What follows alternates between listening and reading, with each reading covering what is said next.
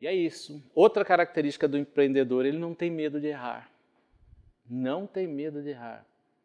Ele não se preocupa com o que o outro vai pensar dele ou não. Ele vai atrás. Ele tem um ideal.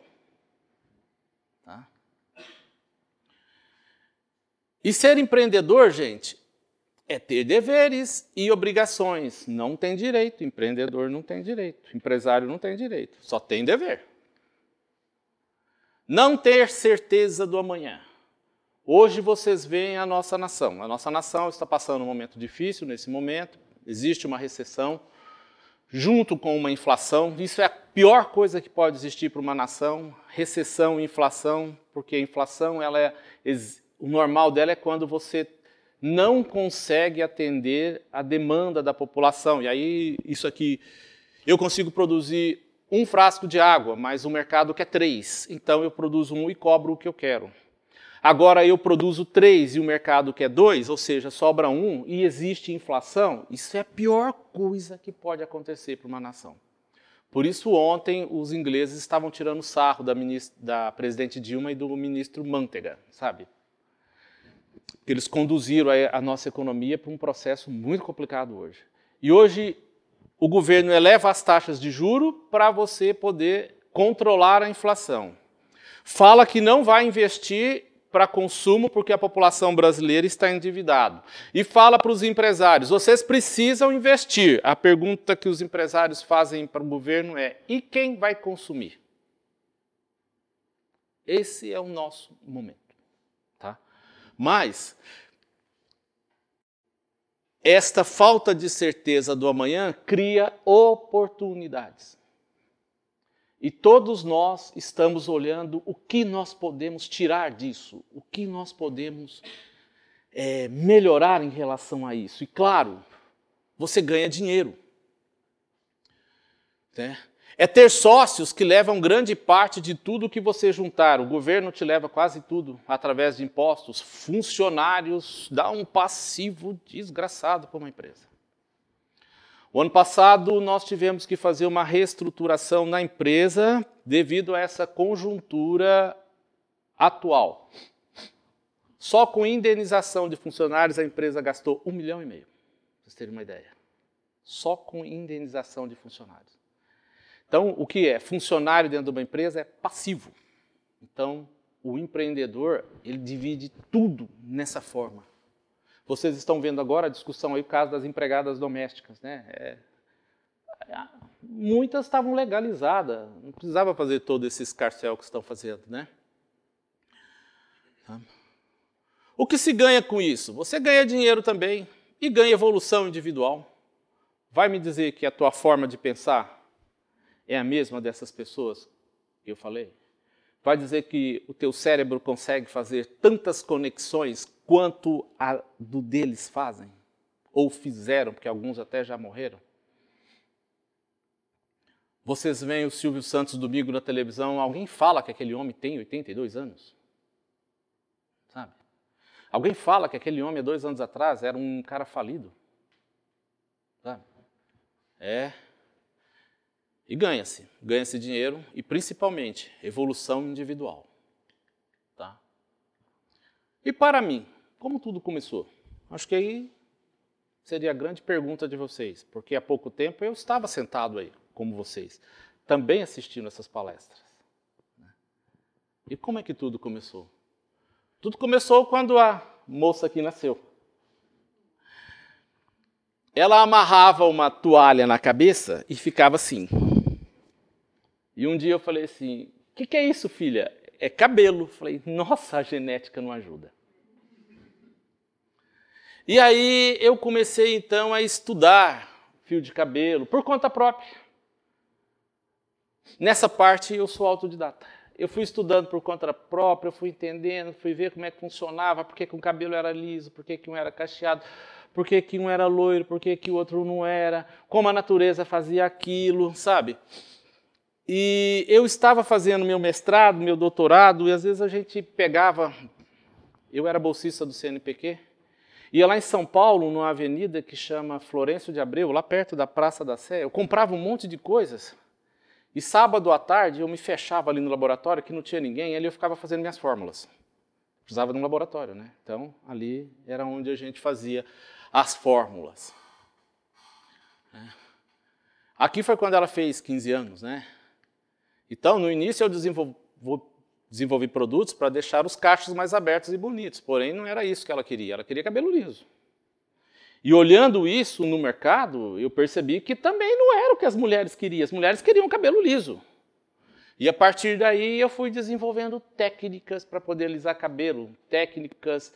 Tive que aprender a linguagem dos profissionais de beleza, tive que aprender como eles falam, como eles interagem, tive que aprender as mentiras do marketing que é muito grande, né, nesse segmento.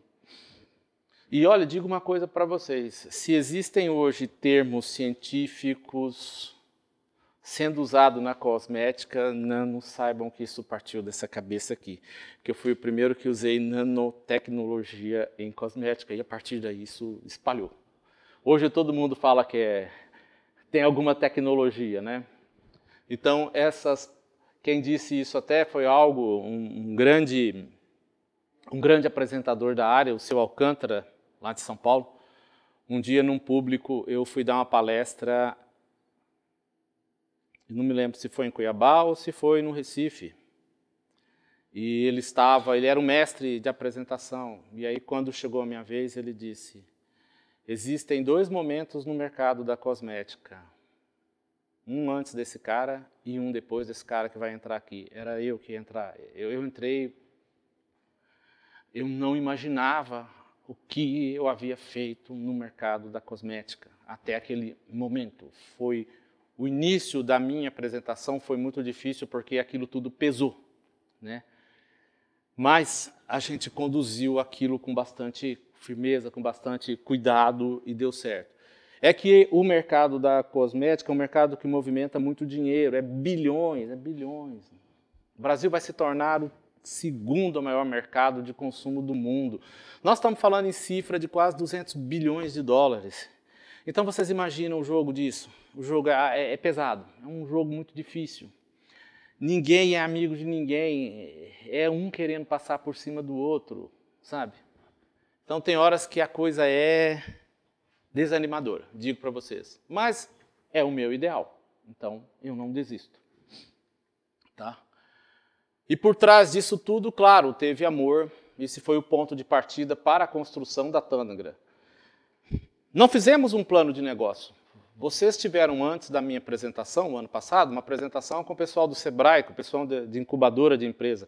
Eu percorri esses caminhos. Eu fui no Sebrae, aprendi a calcular custo, aprendi como é que fazia fluxo de caixa. Eu passei por uma incubadora de empresas, sabe? Foi assim. O legal é que vocês já sabem isso, eu não preciso recapitular como é feito isso. Tá? Aqui é o parque industrial da Tânagra hoje, né? uma máquina, um equipamento de invase.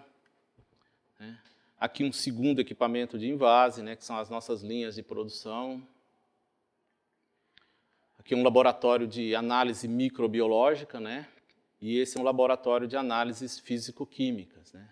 que cada produto tem uma característica físico-química única. Tá? Aqui é uma parte de como são feitas as apresentações dos produtos, né? Aqui um, um treinamento que eu estava ministrando para cabeleireiros e distribuidores. Aqui apresentações em São Paulo e essa aqui foi uma apresentação feita no Recife, né? O que é legal na, no segmento que eu trabalho, principalmente para os homens, é que vocês vão trabalhar com lindas modelos grande parte do tempo, sabe? É, o tempo todo você vai estar lidando com mulher, com modelos, sabe? É um trabalho divertido. Aqui é o centro de treinamento da empresa, que fica lá na 15 de novembro, o Salão Tânaga Profissional, né? Que fica sob a administração da minha esposa, a Val, tá? Uma visão da fábrica. É, aqui no trevo de Ribeirão Preto, uma visão do pessoal que trabalha na cidade de São Carlos. Uma grande parte trabalha fora, porque são promotoras, né? promotoras ficam em diversas cidades Aqui mais uma visão de uma feira em São Paulo, onde são feitos os lançamentos. Tá? E como tudo começou? Aqui, ó. Sabe onde é aqui, João? Fundo da casa do Giba. É. O Giba chegou para mim um dia, falou assim: Eu já estava fazendo teste com cosmético. O Giba chegou para mim e falou assim: Zé Faustino, eu não sei de onde ele tirou esse Zé Faustino. Eu estou indo para a Inglaterra e eu sei que você gosta de plantas. Você quer ficar na minha casa? Que você cuida das minhas plantas? Eu falei, ah, eu fico. Né? Então, ele mudou e eu mudei para a casa dele. E aí eu vi que a casa dele tinha uma párea lá no fundo, onde é, faz churrasco, e um portão de lado. Falei, mas eu posso usar isso aqui para abrir uma microempresa e começar a fazer as coisas, né? E foi lá que eu abri uma microempresa e comecei a fazer as coisas. Lembra que eu falei para vocês? Oportunidades. Vocês têm que estar tá ligado a tudo, tudo que acontece para vocês saberem se aquilo é oportuno naquele momento. É o Newton, que era meu sócio, o Newton também é, é doutor em Química, hoje ele trabalha no Grupo COSAM, é responsável por toda a área de fermentação do Grupo COSAM. Né? E eu, então quando alguém me pergunta como começou a Tânagra, no fundo da casa, pregando prego. Nós três, né, quando nós lançamos a Tânagra no mercado, aqui nós, no laboratório, para todo mundo perceber, a Késia, a Úrsula, o Tim, seu Antônio, que faleceu, Ronilda, que era minha esposa, que faleceu também, né? Então, bastante gente. Né? Isso aqui era só um pouco, hein? Tá faltando gente aí. E a frase guia, o que é uma frase guia?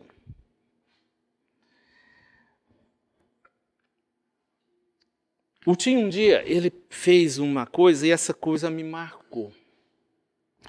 Ele pegou uns artigos e pediu que nós lêssemos e não e tínhamos que apresentar uma aula sobre aqueles artigos, cinco artigos para cada um. Eu peguei os artigos, olhei e falei: ah, tranquilo, aqui os caras que ganhou o prêmio Nobel, o que não ganhou foi indicado. Fui para o laboratório trabalhar, o resto da turma ó, vazou. Na época era USP. As revistas da USP eram mais atualizadas. Foram para a USP estudar. Eu saí do laboratório às seis horas, às oito da noite eu comecei a estudar, porque a primeira aula, o bobão aqui também falou, eu sou o primeiro. A primeira aula era a minha. E aí, era meia-noite, eu não tinha conseguido tirar nada para apresentar. Porque os trabalhos eram literalmente uma merda. E eu não podia falar que aquilo era uma merda. Isso eu tinha certeza. Eu sabia que o meu orientador tinha colocado aquilo de propósito. Lá por volta de uma hora da manhã, uma coisa me disse: a ideia, olha a ideia, olha a ideia, olha a ideia. E eu peguei e olhei a ideia, gente, eram as coisas mais lindas que eu já tinha visto a nível de retrossíntese daquelas moléculas. E no outro dia eu cheguei e a primeira aula foi dada por mim. Quando eu terminei a aula, o Tim levantou e bateu palma e olhou para todos os colegas e disse: É isso, a ideia. E quando ele me entregou os artigos, ele me disse essa frase: É preciso entrar na floresta e não ver somente as árvores. Gente, esta frase me guia até hoje. Diante de todas as dificuldades, de todas as barreiras que aparecem na minha vida, eu digo: é a árvore, é a árvore. Eu tenho que enxergar além da árvore. Então, nesse contexto, eu mostro para vocês. A mente de empreendedor funciona assim. Ela tem que sair do senso comum e fazer várias conexões com várias áreas, com vários segmentos.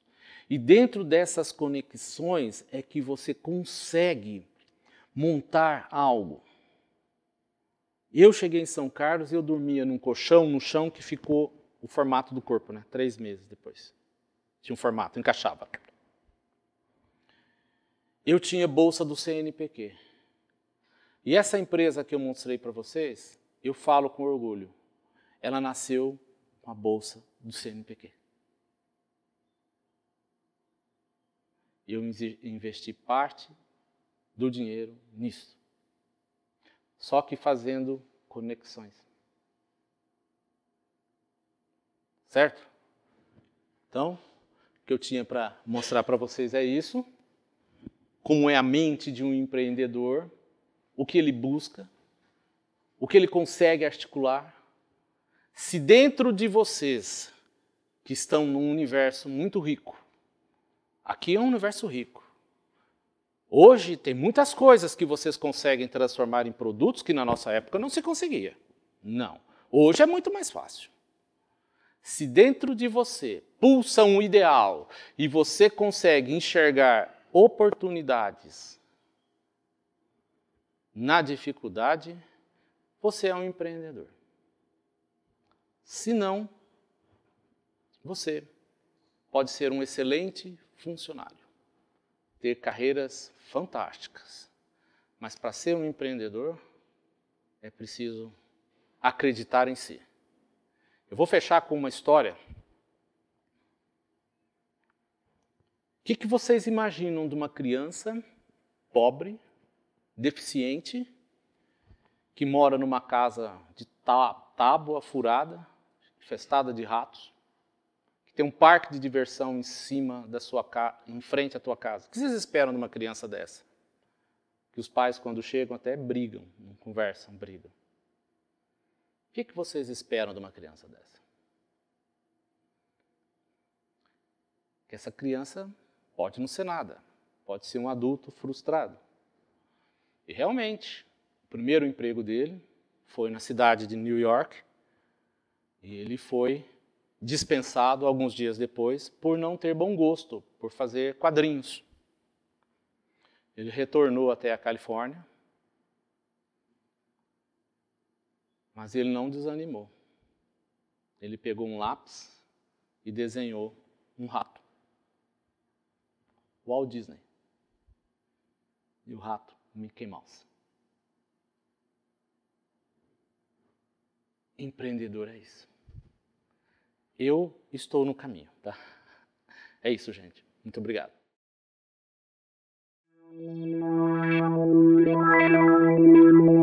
Música